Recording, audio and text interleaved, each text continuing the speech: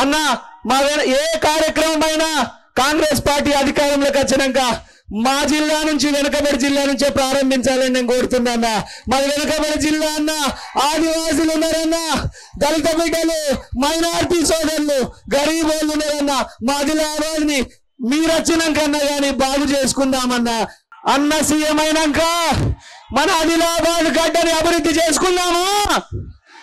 Congress party అధికారంలోకి వచ్చినాక మన ఆదిలాబాద్ గడ్డని అభివృద్ధి చేసుకుందామా?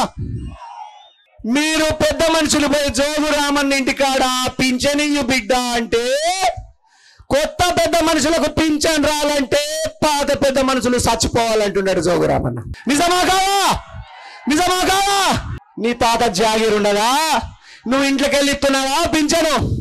పెద్ద మనుషులు ముసలి వాళ్ళు మా మా పెద్దమ్మల్ని మా అవ్వల్ని తాతల్ని పింఛన్ కోసం చెప్పు వరిగేరా నిప్పించినటువంటి వ్యక్తి ఈ జోగు రామన్న.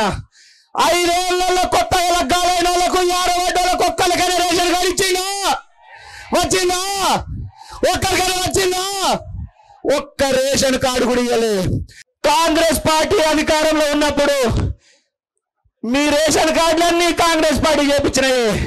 ఇల్లు కట్టం ఇందిరమ్మ ఇల్లు కాంగ్రెస్ పార్టీ. కట్టమా లేదా? కట్టమా లేదా? ఇప్పుడు టిఆర్ఎస్లో ఉన్న వాళ్ళు బీఆర్ఎస్ ఉన్న బీజేపీలో ఉన్న దొంగలు కూడా మనం కట్టించిన ఇందిరమ్మ ఇళ్ళలో ఉంటున్నారు.